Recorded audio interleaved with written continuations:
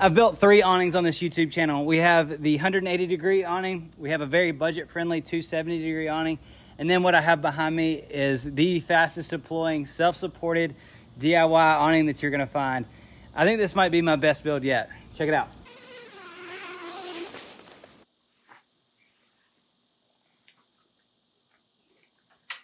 Boom.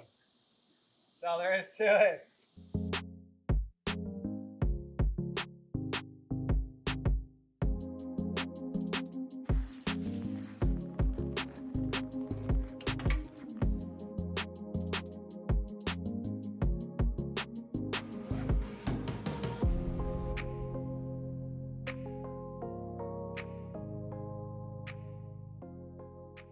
So this build was inspired by the Kinsman awning by Kinsman Hardware. They're a small company out of South Carolina. Definitely go check them out. There's a lot of similarities between my build and their awning. But just like everything else overlanding, they're extremely expensive. This build cost me under $300 to build. It's made almost completely out of half inch EMT conduit that you find at Lowe's or Home Depot. And the canopy is made out of a waterproof pergola cover that I found online. So let's get in the shop and I'll show you guys how I built this thing. If you're new to the channel, welcome. I do really detailed DIY builds. So be sure to hit subscribe. Also hit the bell notification because I don't upload very often. I'm also not one of those really funny YouTubers, just to be forewarned. Let's get into this build. All right, to get started on this project, this is the materials that I'm gonna be using, starting with the body of the awning. This is three quarter inch square steel tubing, 14 gauge. And then for the bracket that we're gonna build that holds everything together, we're using a piece of five inch, 3 16th inch plate steel. It's about 18 inches or so. I don't think it needs to be a quarter inch thick, but I'll let you know if we need to bump that up. And then for the arms of the awning that hold our fabric, we're actually gonna be using half inch EMT conduit. You can get this at Lowe's or Home Depot. Um, any electrical hardware store is gonna have it. And the reason we're using electrical conduit is because it's a lot lighter, a lot cheaper, and it's gonna be plenty strong. I really don't think there's any reason to build the arms of the awning out of three quarter inch steel. This is gonna be plenty strong. In terms of order of operation here, I think it'll be easier to build the awning arms and then build the uh, body of the awning and the bracket to fit those arms. I think that'll work a little bit better than the other way around. So I've already done my measurements. I think I'm going to do two arms that are seven feet long. They're, they'll be built identically. And then uh, the third arm will be seven foot two and it will be made a little bit differently. So yeah, I'll show you that. Let's get started building these arms. All right, I'm in my driveway, and this is how I'm getting the measurements for everything. I just have everything drawn out in chalk. It's kind of like CAD on the computer. Well, I guess it still is CAD because this is a chalk-aided design. Um, but this is just a great way to visualize everything. You can even park your vehicle right here just to be able to see how much space you're going to have underneath your awning. So this guy right here, this represents the body of the awning, and that will be mounted to your vehicle. And then, as you know, these three guys will be the arms that hold the fabric. I really just want the fabric to be as simple as possible. So we're gonna have one big rectangle that goes out to here and then this piece will go, a little square will go out from there. So we'll have one stitch across here and then a hem all around the edges. And then we'll have to figure out a way to attach the fabric to our arms, but I don't think that'll be very hard. But yeah, this is how I'm doing the measurements. I'd recommend doing it like this if you can, um, just to be able to visualize everything. And, and if you don't want yours to be exactly the way mine is, this is a, a good way to modify it, I guess. So yeah, let's uh, let's get started building.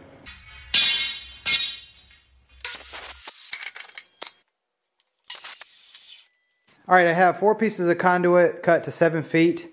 And so what I'm doing now is just trying to decide between the two, whether I wanted more of like a triangular arm. I think I'm leaning towards the parallel shape. It might have like a slight taper towards the end but I just like the way this looks better. And then with the offcuts that we just cut off the 10 foot pieces, we're gonna cut some sections like this, kind of make a truss. All I've really cut is the two seven foot pieces, and then I've cut two shorter pieces. One's four inches and one is four and three eighths. So our four inch piece is gonna go on this end. It's gonna be nice and flush here and here. And then the four and three eighths piece needs a little extra room our bars are still going to stay four inches apart. We just need a little extra room here and here on the bracket side of things. So what we're going to do on the hinge side of things, instead of using a, a skateboard bearing of any sort, we're just going to weld on a washer. And um, The bearing or the washer, all it really does is it holds that through bolt, the bolt that's gonna hold your arm to the bracket. It just needs to be centered. It's not like this has so much friction on it that it needs to have a bearing inside of it. It just needs to be centered in this piece. Otherwise, it would be too loose fitting inside that pipe there. So I think this is totally sufficient. It's gonna be plenty strong.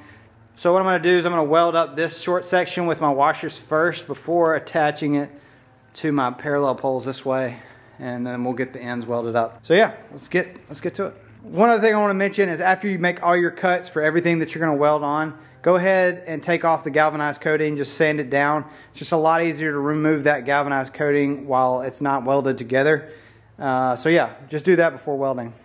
I do want to mention that the exact dimensions that I'm using isn't important because we're building the bracket to fit each arm. So you don't have to use my numbers if you don't want to. I just want my total bracket to be about five inches or so. So that's the reason I picked the numbers that I did. Uh, I think it's a little easier to build the arms first and then build the bracket to fit that and so, instead of the other way around. So just want to mention that the, the, numbers themselves really don't matter as long as each arm is as consistent as possible. You want the arms to be all the same. So yeah, let's get back to it. The good thing about this whole thing is that if we screw up, it's really not that big a deal. We can just cut another piece, get another washer, and re-weld. But I'm just gonna eyeball this, get it as centered as possible. And then we're just gonna weld up along that lip.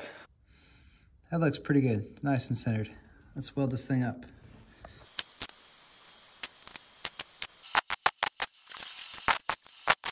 All right, so I ended up welding up three of them because the welds on the first one were just absolute garbage. And I just was like, I can't put that on YouTube. But these are how the, the last welds turned out.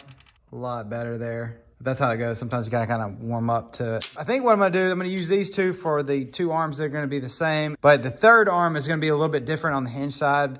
Um, it'll be the same thickness, but it'll be shaped differently, and I'll show you that as I go on. All right, our four and three eighths pieces, which are actually now four and a half, now that's all welded up. Those are gonna weld on just like that. I am gonna go ahead, notch these pieces so it fits this round surface nicely. I'm gonna do that on both sides so that we don't have any gap to deal with.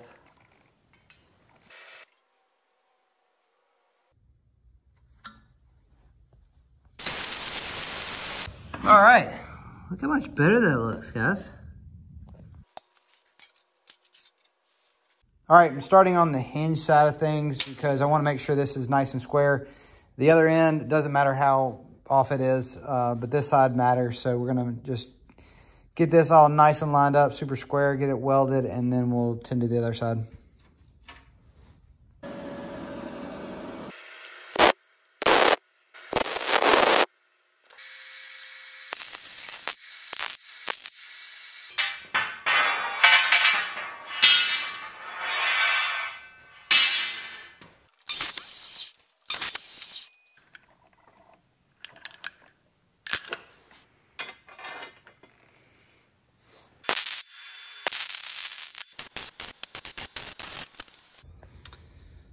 So that's what that looks like after it's all welded up. And then on the other side, got that welded up, but I also capped off the top. I put a washer up here, welded it, ground it all down, and then I welded up the center hole. And then on the bottom, I welded up another washer, but I left the hole open just in case I want to support pole or something during high winds. So I left that open. Not sure if I'm going to use that yet, but I have it if I need it. So yeah, I just want to show you that. All right, for the third and fourth arm, we're actually going to be making three miniature versions of this. We're going to be using three short sections of conduit with a bunch of washers. So that's what that'll look like once it's all welded up, and we'll stack those on top of each other, spaced by washers, and uh, it'll equal the same height as this piece right here. So yeah, let's get all this welded up.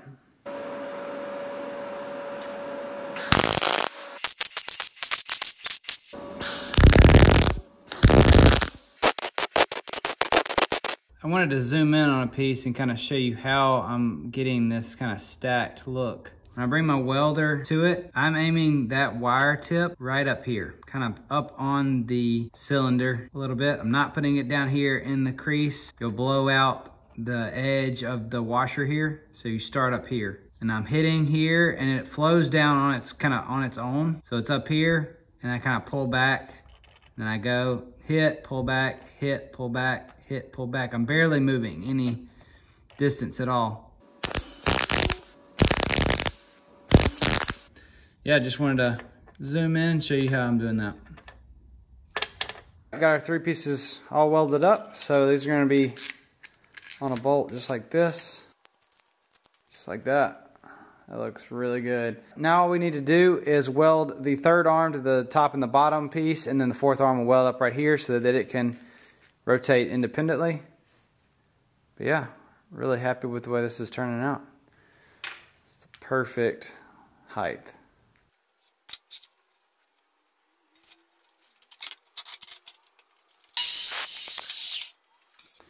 All right, for the sake of time, I went ahead and cut and notched everything, so I'll show you what I have.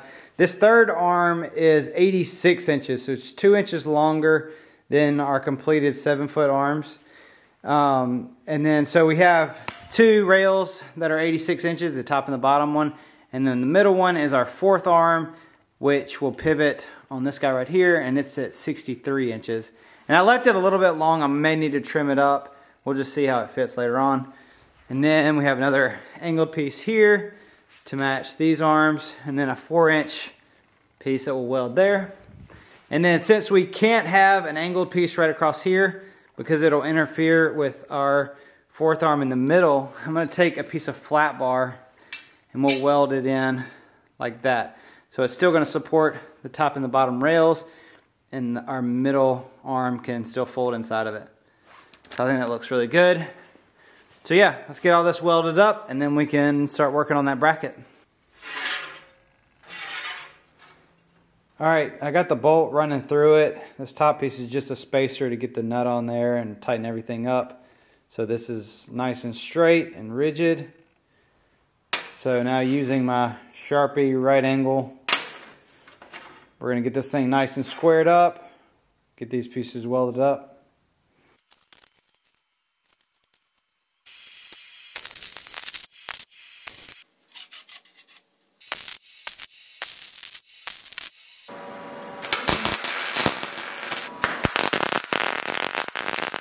All right, we got the finished third and fourth arm. Since they're painted black, you're not even really gonna be able to notice a difference. But really happy with the way those have turned out. Third arm wants to kick out like that. So now that these three are done, we can move on to our bracket. It's gonna hold everything together. So let's get to it. All right, we are back in CAD, if I can even say that. All right, quick overview of the dimensions now that everything's welded up. The base that we haven't completed is 90 inches, 85 inches, 85, 87 here, and then our fourth arm is 63. All right, it's time to move on to build the awning bracket. This is what holds our awning arms all together. Don't worry if your part doesn't look quite this nice. I spent a lot of time on it trying to make it look really pretty for YouTube. So we're gonna start off with a big piece of five inch flat bar. This is 3 16th inch thick, 24 inches long, and we're gonna use pretty much all of it. Let's get this thing built. All right, here's our flat bar. It's already five inches wide, so we'll just cut two eight inch sections.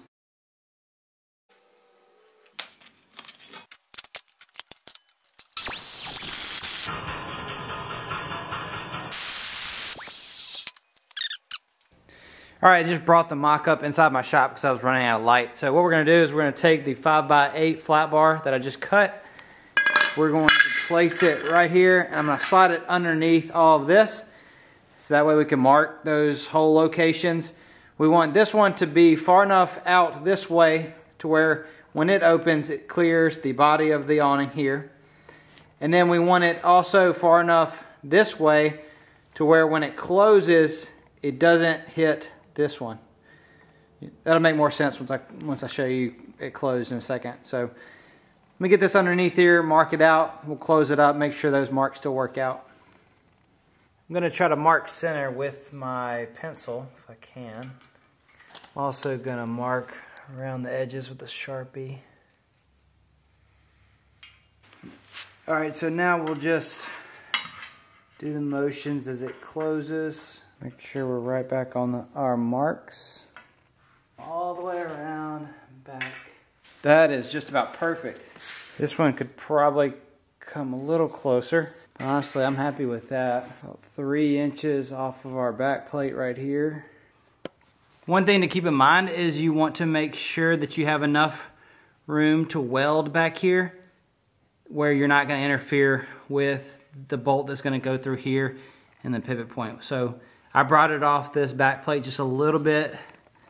I think there's more than enough room for it to be welded up and not interfere yeah, just want to mention that. Got it nice and tight right here. It's all nice and tight, folded up right here perfectly. I'm gonna go ahead, mark the centers of these on my plate, and I'm gonna show you exactly what those dimensions end up looking like. I'm trying to make a little tiny pencil mark. Kind of difficult, but if you just lift up gently, that pencil will show you right where dead center is. All right, we got the centers marked. Oh my gosh, what have I done? i have to blur that out for YouTube. All right, we got the centers marked.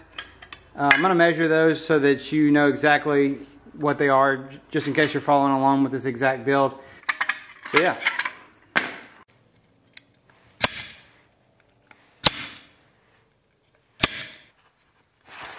All right, really spoon feeding you here, but I like to be as thorough as possible on this channel and give you all the tools that you need for success.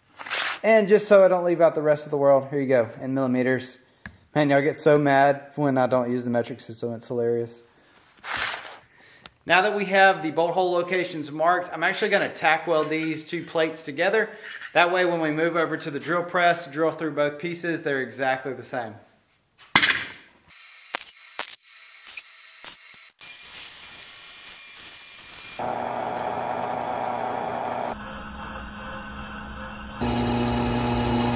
All right, it's time to shape this thing up. We don't need a lot of this metal right in here.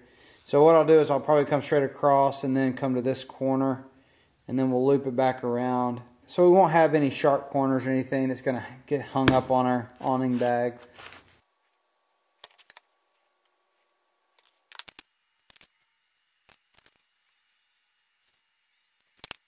All right, I think this looks pretty good. We'll cut that out. And we'll get that welded up. All right, so we got, take it over to the belt sander, take off these sharp corners, and then we'll uh, take the tack welds out and break these two pieces apart.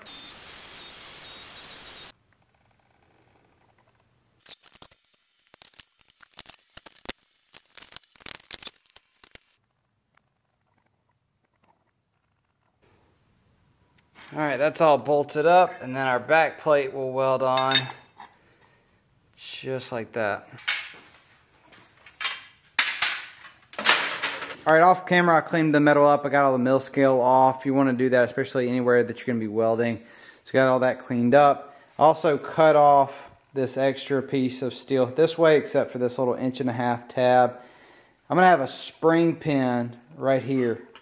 And what that's going to do is when this fourth arm comes around, it's going to pin that arm in place so that I don't have to use like a a strap or anything. Not a not 100% necessary to have this part, but uh, I think it would be a cool thing to add.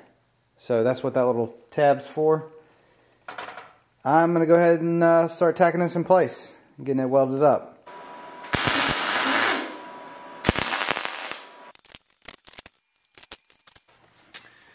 Alright, that's our bracket. Time to get that welded up.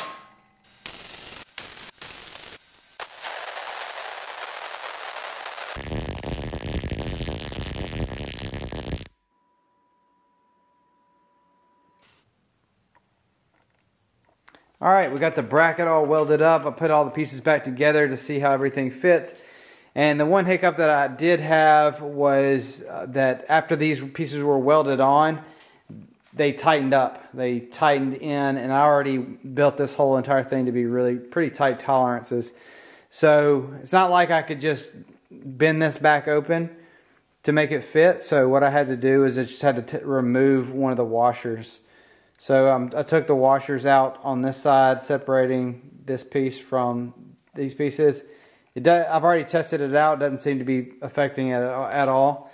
But uh, yeah, that, that kind of squeezed in about a 16th of an inch to where I could not get a washer in on this side. So yeah, that's the only thing that happened. Not a big deal. I don't think it's going to affect it at all. I just tack welded the uh, bracket to my table. I just want to test out this bracket and see how strong it really is. So let's open this thing up. Got those just suspended right there. Open up the first one. So yeah, now we have all three arms hanging out just like that.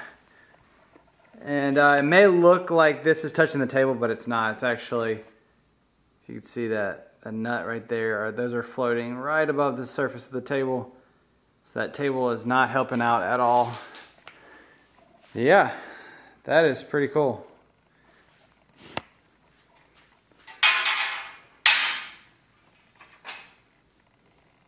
So yeah, now that we know that bracket is super strong, we're to move on to the body of the awning. This is the part of the awning that's mounted to the vehicle.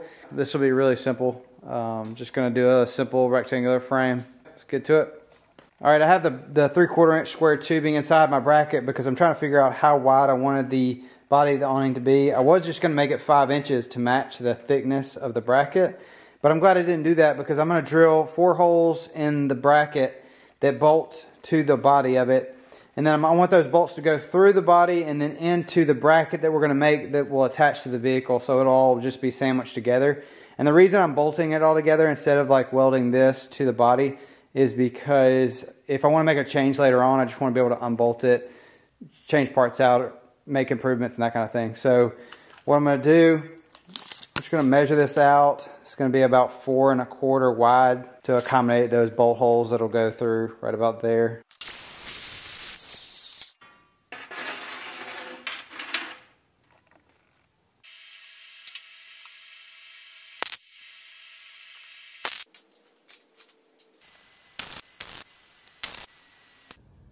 I got my angled pieces welded in. I think I'm gonna do a small piece right under where the bracket's gonna go just for, you know, overkill.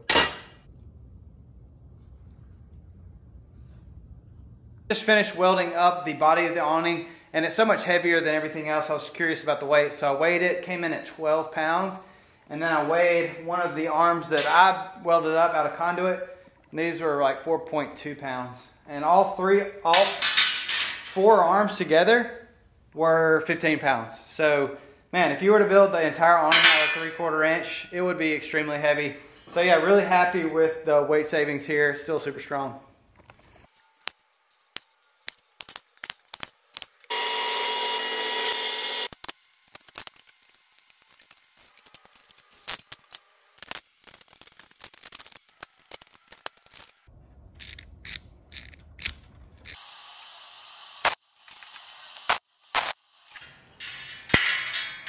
That awesome. All right, we got the awning all back together. I really want to go test this out on the vehicle, uh, but I don't have any mounting brackets yet. I do have these brackets that I used on the first build.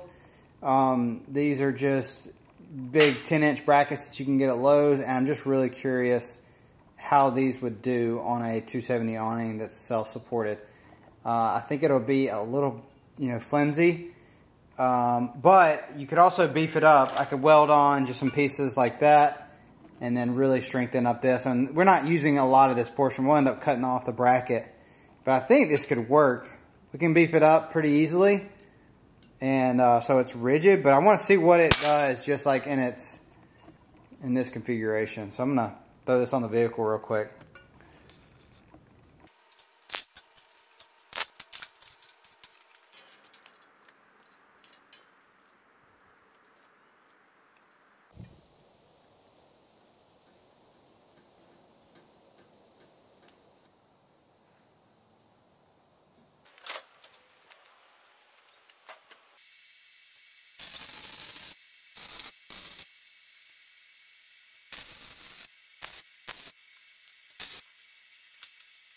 All right, we got the new and improved beefed up L bracket. I'll put in a before of what it was before I added the brace, but this is the after. And that's much more stiff than it was. I am gonna build a bracket specifically for my roof rack for this build. Um, but I just wanted to show that those L brackets will work as long as you brace them up. But yeah, really happy with that. And it'll vibrate less once we have some fabric on here. So now that we know all that works, we're ready to get the fabric laid out. So I've decided that the fabric work really needs its own video. There's just so many details and this video would be an hour and a half long. So just enjoy this little build montage and if you want the details on all the fabric work, building the canopy, that'll be in the next video.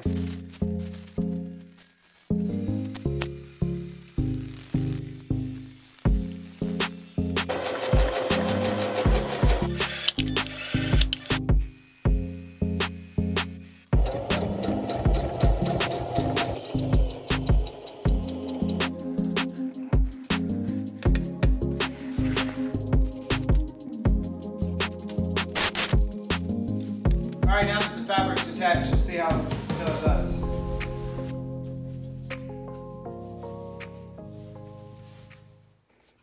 All right, so as you can see, the fabric is not where it needs to be. We have quite a bit of sag.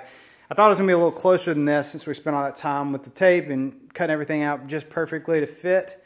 Uh, but that's not always how things work, especially with fabric. And you would think maybe we should just open up the awning further and that would tighten things up, which it does just a little bit.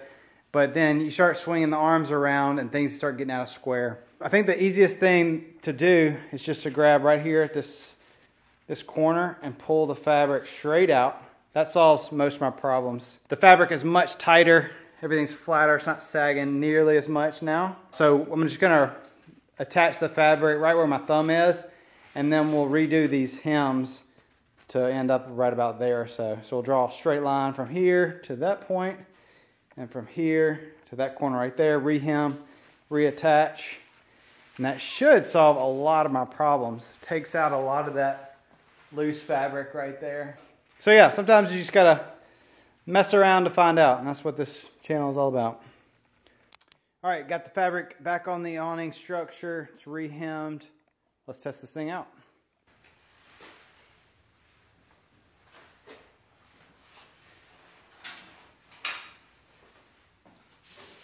Boom. Check it out. A few tweaks we need to do, but man, this looks so much better. All right, so as you can see, the fabric is way flatter now, way less sag. This looks really good. It's pulled nice and tight. The only thing I really need to fix is right here.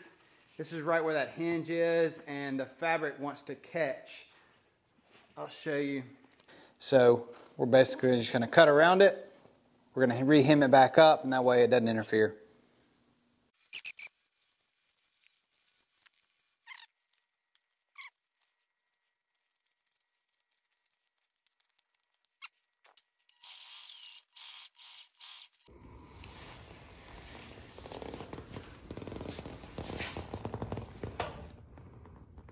All right, with our canopy removed, it's time to get this thing painted.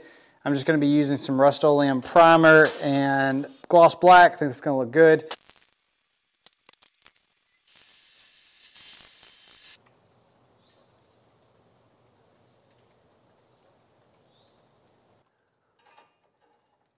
All right, check it out. These parts look so good now. Freshly painted. About to get this thing put back together.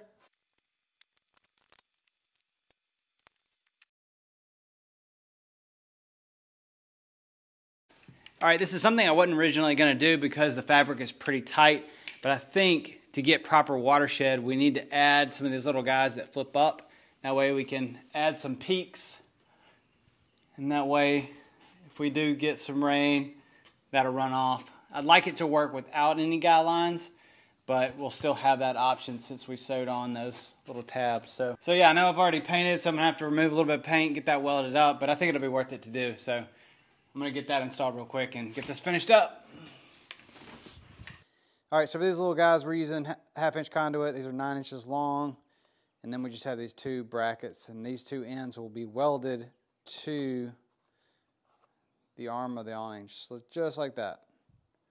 We We don't need a stop or anything. The fabric will hold it straight up, no problems. So I'm gonna go weld all these up onto the arms, get them painted. We should be good to go.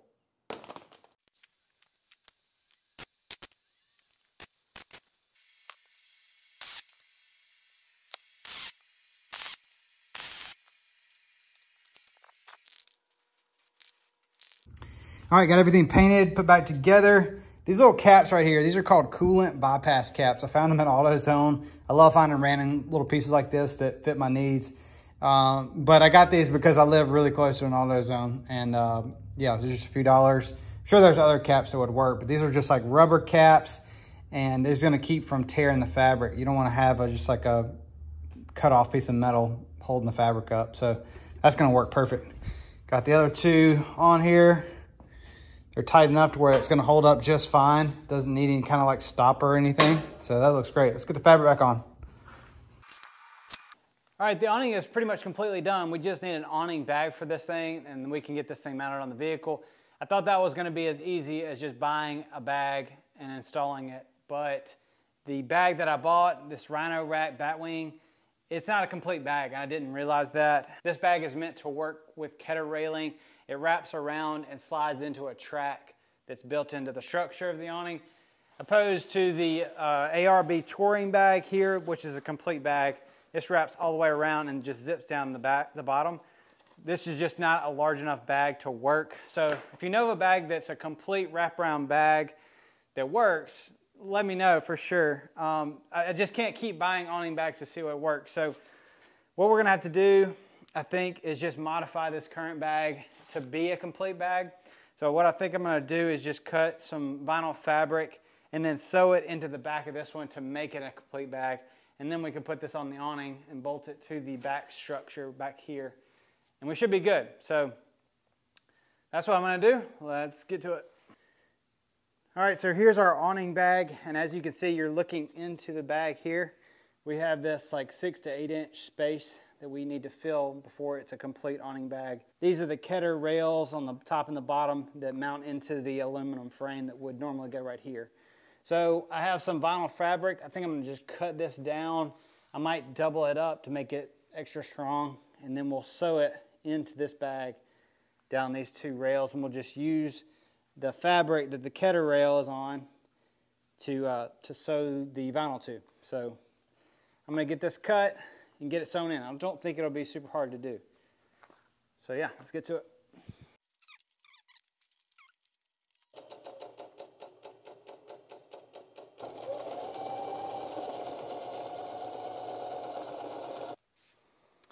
All right, now we have a full bag and it looks pretty close. This is the side that we just sewed on in between our zipper and the other side of the bag. This looks pretty good. Uh, I had a lot of troubles with my sewing machine for whatever reason. I'm not sure what's going on with it, but uh, that kind of made things difficult. But we got it done, and it looks really good. So now it's time to get this thing on the awning, get this project wrapped up.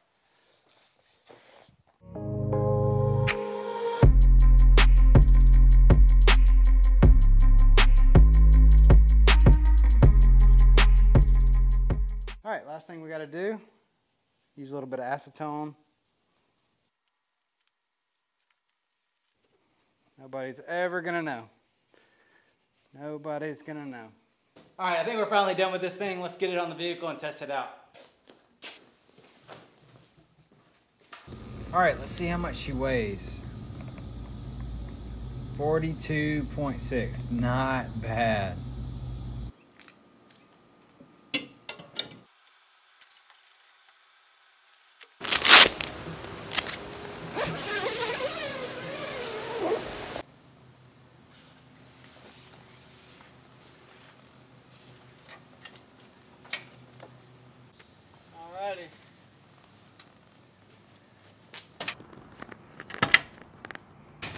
Boom.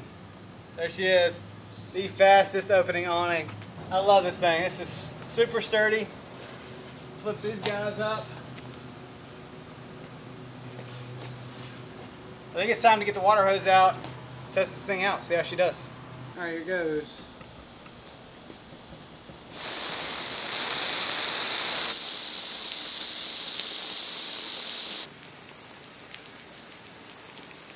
Water is shedding off really well. I don't see any spots where the water is coming through the fabric. You can kind of see it beaded up on top. That's, that's on top. That's not coming through at all. Some water is coming right through here where the hinge is, but that's kind of to be expected. It's just landing on the vehicle and going down. But I don't see it pooling up anywhere. All the water is shedding off just how I want it to. This is awesome. This is awesome.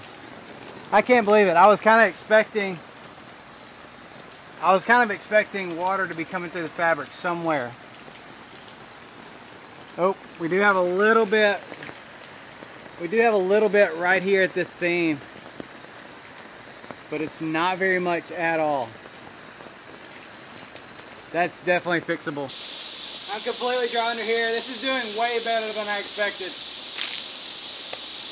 No water pulling up hardly.